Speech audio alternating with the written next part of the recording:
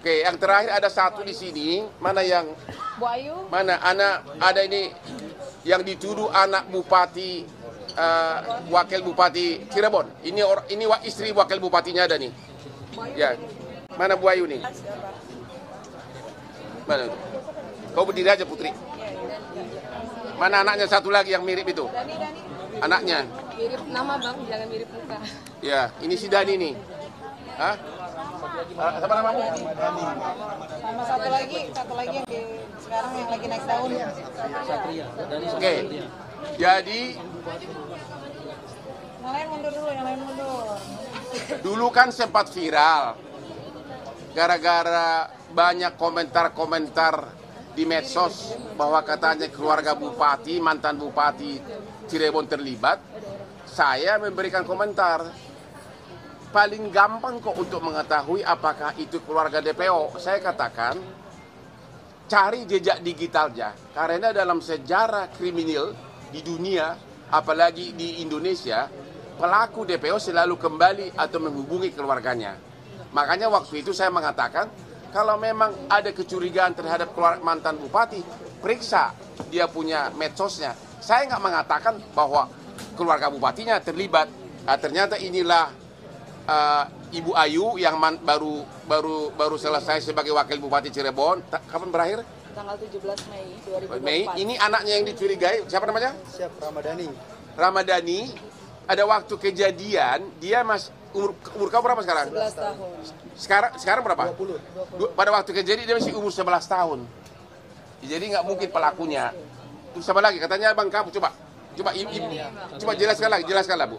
Jadi saya punya putra dan putri empat. Ya. Yang pertama ini eh, namanya Satria Robi Saputra, kelahiran tahun 97. Yang kedua Sela Safira Amalia, kelahiran tahun 1999. Dan yang ketiga kelahiran eh, Resa Primahanjaya, kelahiran tahun 2000.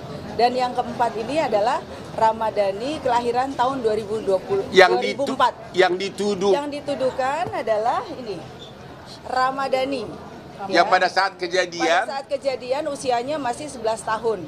Sekolah kelas 5 SD ya. Karena kita sudah klarifikasi di TV eh, swasta, TV One ya.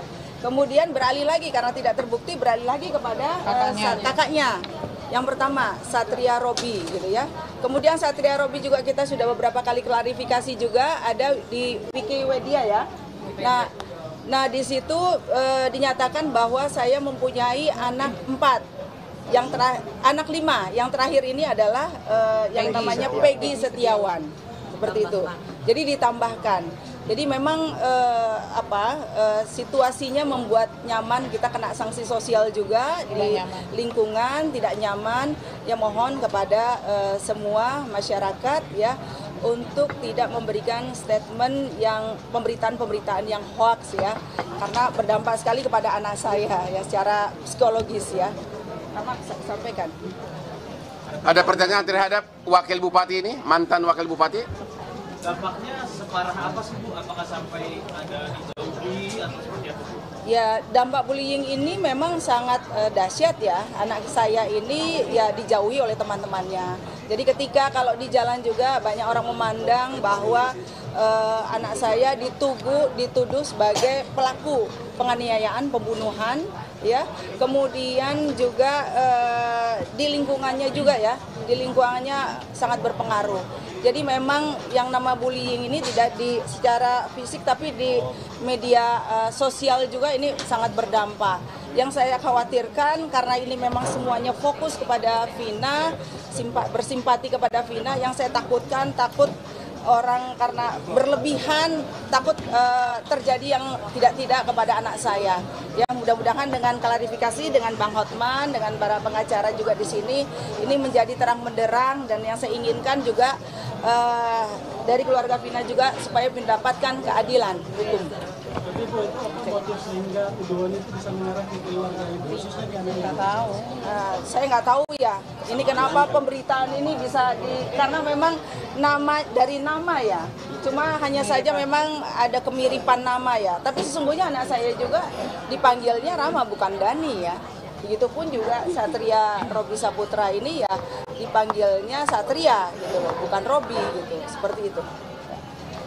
Sebagai tambahan dari keluarga, kami keluarga besar Ibu Wahyu Ciptaningsi benar-benar bersemangat, benar-benar pengen berharap Vina dapat keadilan. Sehingga apa yang terjadi, yang membawa kakaknya Vina hadir di tempat ini itu adalah Ibu Ayu sendiri.